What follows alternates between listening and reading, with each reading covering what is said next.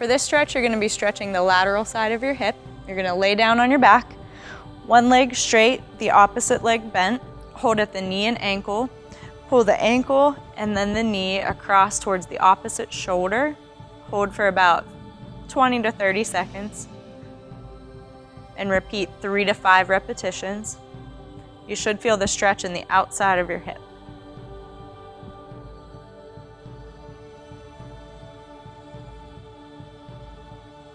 You can alternate sides until you get three or five on each side.